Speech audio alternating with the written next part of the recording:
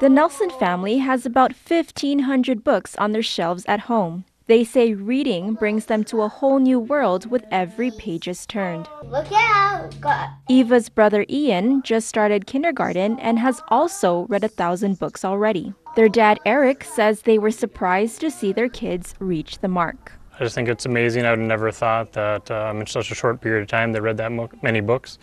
Um, it's kind of funny thinking about all the books that we didn't count and all the daycare books that were read and grandparents read books. Eva still has two more years before she starts kindergarten, but that doesn't stop her from giving her parents books to read to her every chance she gets. What's your favorite one?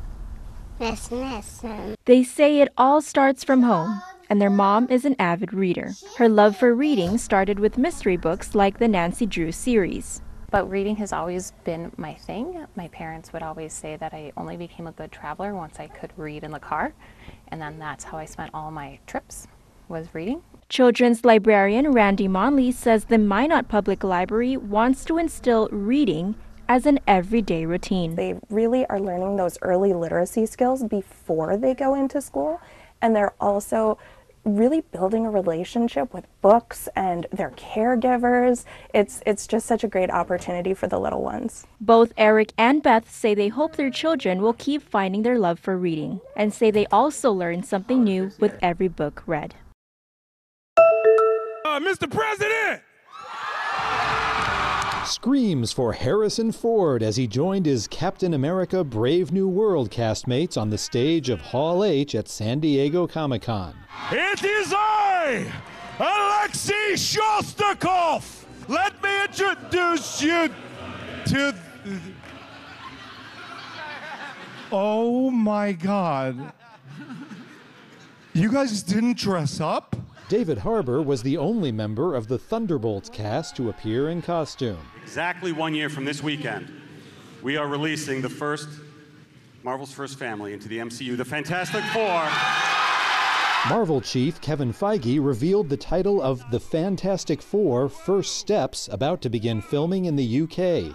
And Joe and Anthony Russo, set to direct Avengers Doomsday and Avengers Secret Wars, revealed who will play classic Fantastic Four villain Victor Von Doom.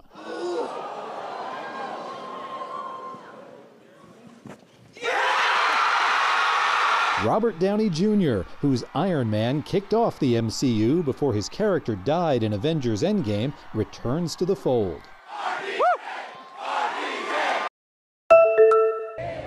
Seis muertos y 135 personas heridas se han registrado en Venezuela durante las últimas horas, informó la ONG Foro Penal.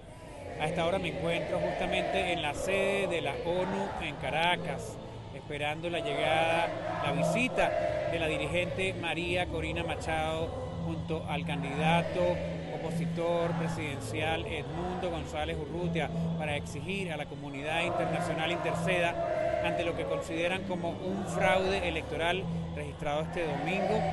Hace minutos el ministro para la Defensa del país, Vladimir Padrino López, aseguró que hay un golpe de Estado en ejecución en la nación, mientras que el presidente Nicolás Maduro en una alocución realizada este lunes durante la noche dijo, pidió mano de hierro en contra de las personas que protesten en el país. It was late morning in Southport, a seaside town in the northwest of England, when police first received reports of a stabbing. It was quickly declared a major incident with multiple victims. Later in the day, police announced two children had died. The attack took place during a Taylor Swift themed yoga class aimed at 6 to 11 year olds when a man walked in with a knife and started attacking the children. Police said nine other children were injured, with six still in critical condition. Two adults were also injured as they tried to protect the children from the assailant. All those injured suffered stab wounds.